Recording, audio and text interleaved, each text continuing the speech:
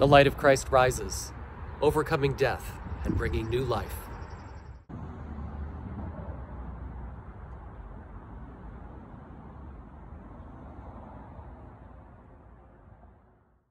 When the Sabbath was over, Mary Magdalene and Mary, the mother of James, and Salome bought spices so that they might go and anoint him.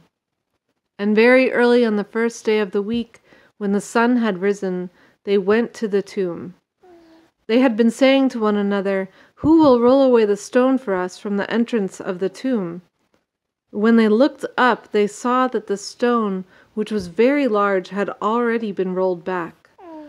As they entered the tomb, they saw a young man, dressed in a white robe, sitting on the right side, and they were alarmed. But he said to them, Do not be alarmed. You are looking for Jesus of Nazareth, who was crucified. He has been raised. He is not here. Look, there is the place they laid him. But go, tell his disciples and Peter that he is going ahead of you to Galilee. There you will see him just as he told you.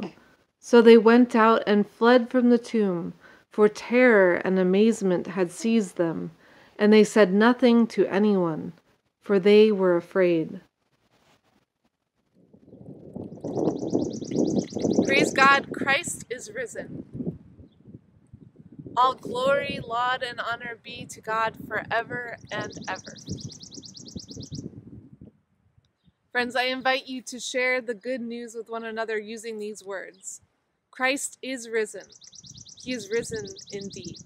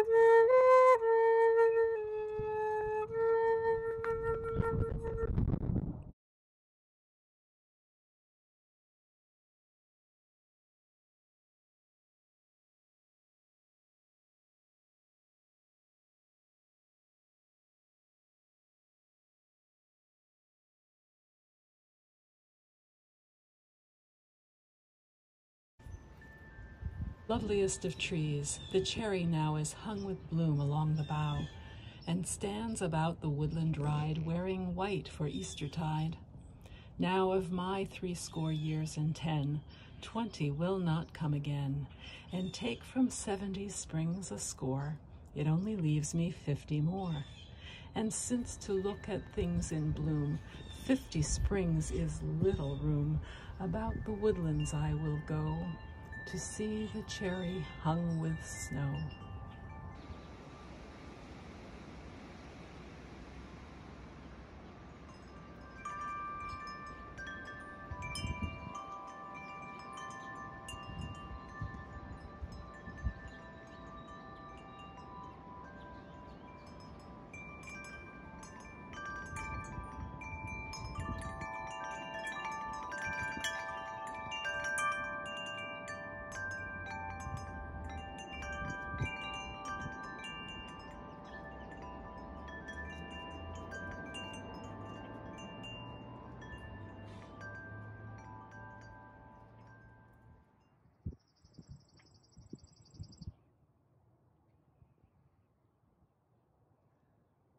God be with you. Lift up your hearts. Let us give thanks to the Lord our God. People will come from east and west and sit at table in the kingdom of God.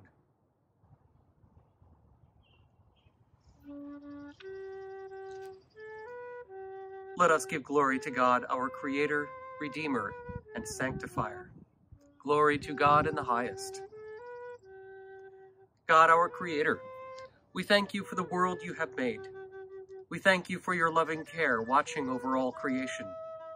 We thank you for entrusting part of your world to us to tend, to care for, and to develop. You have made us women and men in your image, so that in each other we can trace your likeness and serve you by serving our brothers and sisters. You made us to know you and to be near you. Our hearts are restless until they come to you.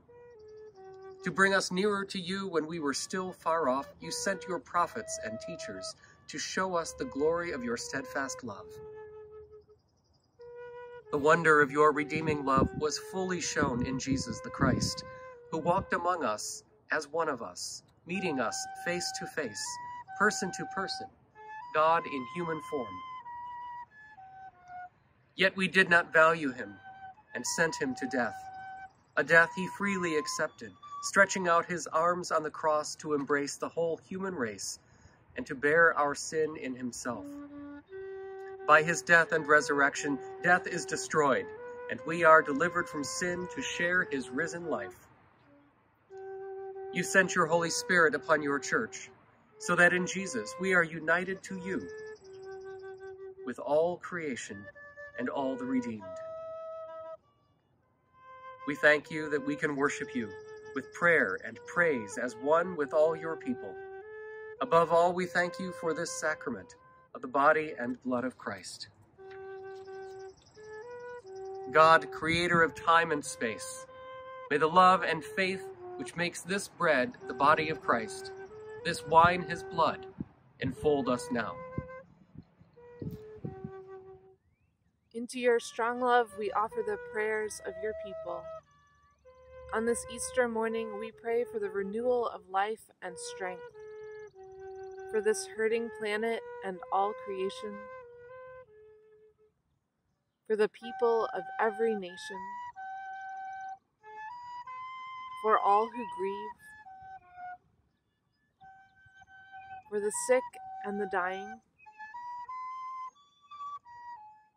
for the many helpers and caretakers who tend to those in pain for communities of faith connecting in new ways, for all of us who imagined we would have been gathered in the White Plains Presbyterian Church sanctuary this morning, or reunited with many family members over an Easter meal. Gift us with the closeness of each other's presence in this communion meal. As we face uncertain days, fill our hearts with the good news of life that overwhelms the powers of death. God of peace, let us, your people, know that at the heart of this crisis, there is an inner calm that comes from faith in you. Keep us from being content with things as they are, that from this central peace there may come a creative compassion a thirst for justice, and a willingness to give of ourselves in the Spirit of Christ.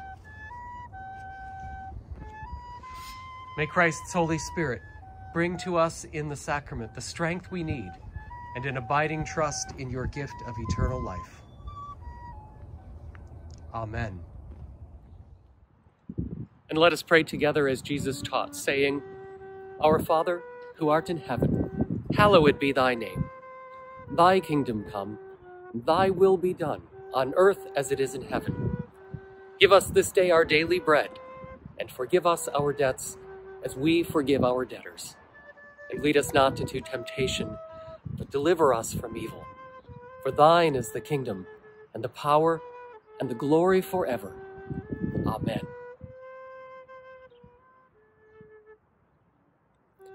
My friends, this is the body of Christ broken for you. Take and eat and remember Jesus.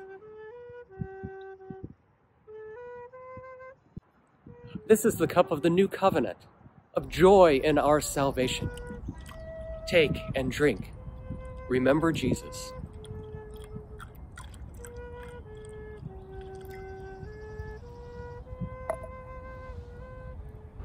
These are the gifts of God for the people of God. Let us eat together.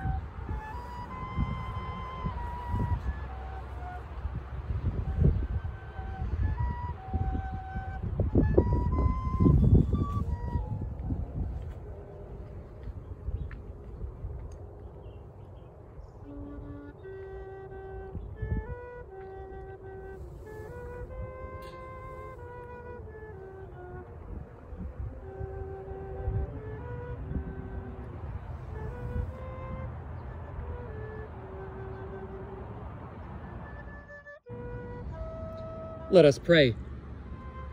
Most loving God, Creator and Redeemer, we give you thanks for this foretaste of your glory. Through the risen Christ, and with all your saints, we offer ourselves and our lives to your service. Empower us with your Spirit to stand with you in your world as we stand apart from one another in love. We ask this through Jesus Christ, our friend and brother. Amen.